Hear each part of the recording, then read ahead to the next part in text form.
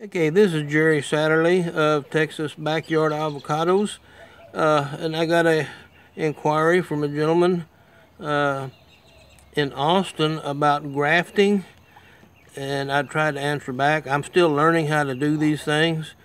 I'm almost a 70-year-old guy trying to learn this new stuff, and, and uh, so this is my way of trying to answer the gentleman in Austin. So I know it really encouraged me to know somebody's watching. This is a picture of a perfect graft, almost. Uh, you notice how low it is. This is within an inch of the dirt line, and this is a brand new uh, pot. So I'm stepping back so you can see. It's uh, when I uh, transplant them into bigger pots, I put more dirt in them. But one of my complaints about the new methods of grafting is they are up so high that they impair the tree's ability to survive because the thing on the graft, the rootstock is not the same cold hardiness as the cold hardy Mexican avocado on the top. So if if you uh, have the graft up so high, you leave that tree extremely vulnerable to the cold. No matter how cold hardy the top is, if the bottom is exposed, you've got a dead tree. And this is kind of what has happened. And when you look in the nurseries, what is coming out, these trees are grafted so high. And, and I still have bought some of them. And I, I, you just have to mound the dirt up to protect that graft. But technically, uh, the graft should be about two inches above the seed when it sprouts. And when you plant the tree, uh, the graft should be two inches below the dirt. So from the, the seed to the surface of the dirt should be somewhere around four inches. Well, some of these grafts are coming out five, six, seven inches above the seed.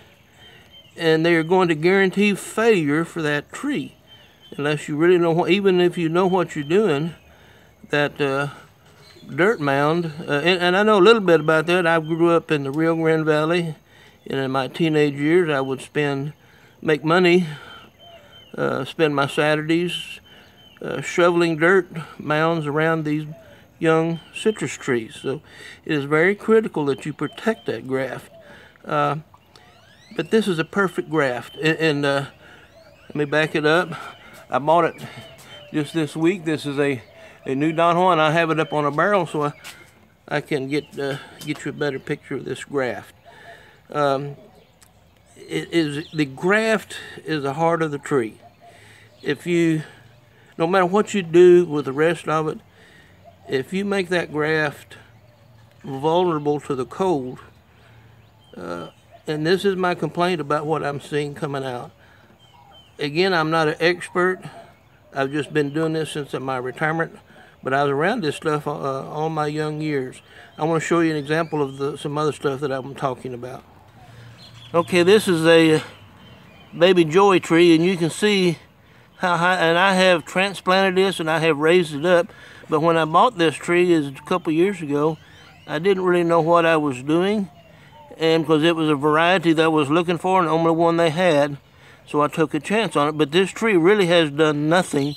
Uh, I've had it over two years and it's still uh, just about two feet tall.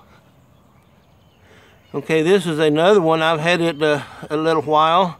Uh, I've transplanted into a big, uh, bigger pot and I've raised the dirt level. Uh, and you can see how full the pot is. I had it all mounded up for the winter.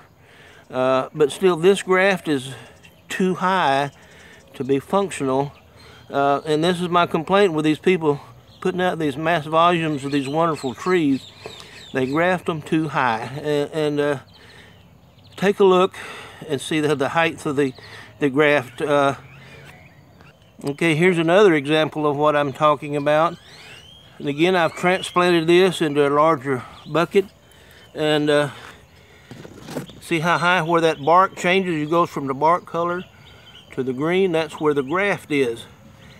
And it was, uh, when I transplanted, I put several other inches of dirt on it. And when the, for the winter, I had it mound up real high. But that church, uh, that uh, tree is at risk because of the high grass. So these are just some examples.